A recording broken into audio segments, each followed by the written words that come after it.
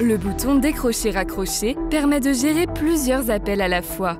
Lors d'un appel, pour refuser un second appel, maintenez le bouton enfoncé pendant une seconde. Si vous souhaitez plutôt répondre à cet appel entrant et terminer l'appel en cours, appuyez une fois sur le bouton. Vous pouvez également prendre l'appel entrant et mettre l'appel en cours en attente, en appuyant deux fois sur le bouton. Vous pouvez basculer entre ces deux appels en appuyant deux fois sur le bouton décrocher-raccrocher. Pour mettre fin à l'appel en cours et reprendre l'appel en attente, appuyez une fois sur le bouton.